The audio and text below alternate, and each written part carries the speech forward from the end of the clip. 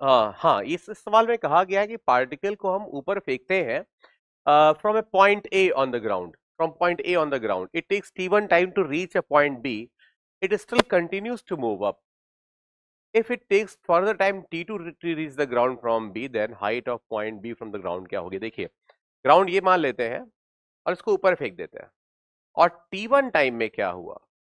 T1 time में एक certain height h पे पहुँच गया ये t1 टाइम में। अभी और ऊपर जाता है और और नीचे आता है।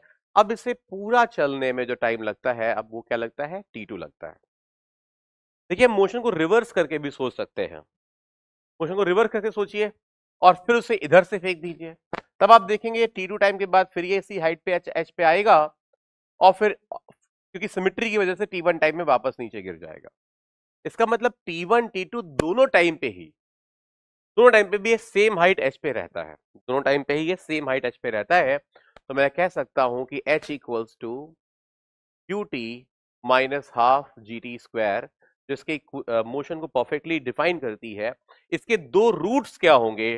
वो क्या होंगे? टी वन एंड और यहाँ पे क्वाड्रेटिक इक्वेशंस की आप कुछ प्रॉपर्टी लगाइए sum of roots multiplication of roots then you will find you will see the आपका एक बहुत ही आसान सा ऑप्शन बनेगा। वैसे ये स्टैंडर्ड रिज़ल्ट कई लोगों को याद भी रहता है, ठीक है? बट रिमेंबर बहुत ध्यान से रखिए। और एक बात और, इन दोनों का सम, इसका टाइम ऑफ़ फ़्लाइट भी होता है, ये भी हमें ध्यान रखना चाहिए। इन, इसके जो दो रूट्स आएँगे, उनका जो सम होता है, वो टाइम ऑफ़ फ़्लाइट होता है, राइट?